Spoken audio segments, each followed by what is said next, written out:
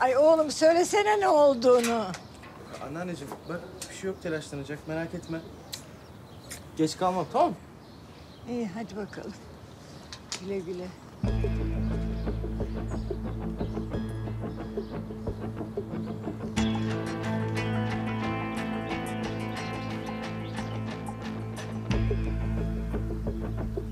Neredesin?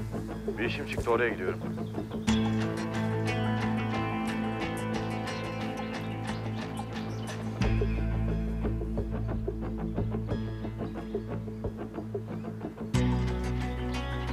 Yapıyorsun sen burada? Hani kardeşimdin sen benim? Ha? Kardeşim yapmaz. Satmaz beni. Hep arkamda durur. Doğru. Benim kardeşim yalancı değildi çünkü. Dürüst bir adam ya. Senin dürüstlüğün. Kerem kendine gel. Sen manyak mısın lan ha? Bir tek sana güvendim. Bir tek sana güvendim bu hayatta. Neden gambazladın beni ha? Söyle. Ne çıkarım vardı? Ya çıkarım olacak değil mi? İlla bir şey alacağım karşılığında. Ne o zaman? Derdin ne? Söylesene. Sussaydım ne olacaktı ha? İlk önce Cihan Hoca, sonra Zeynep'e gelecekti sıra. Şimdi sırada ben mi varım? Ya sana ne? Sana ne? Sana ne o salak kızlar? Gitsin çıksın hayatımızdan. Tamam, önüne taş koyan herkes çıksın hayatından. Cihan Hoca, Zeynep, ben bile.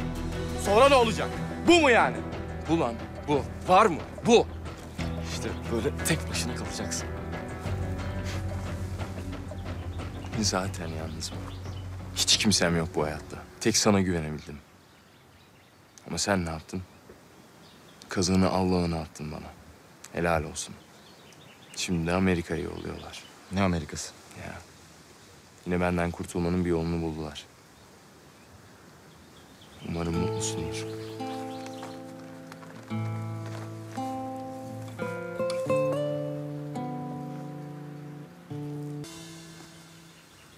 Kesin mi yani?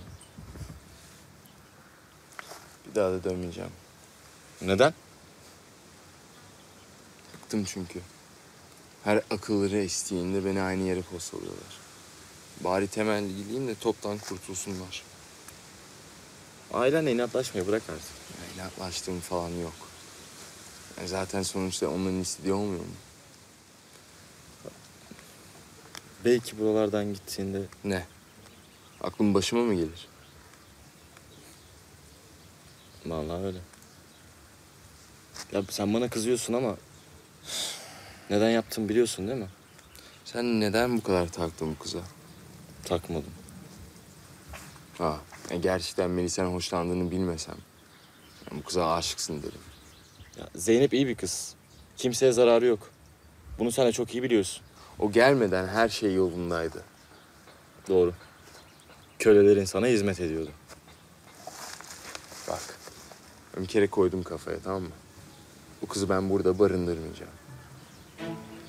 Sen de şunu artık aklına sok.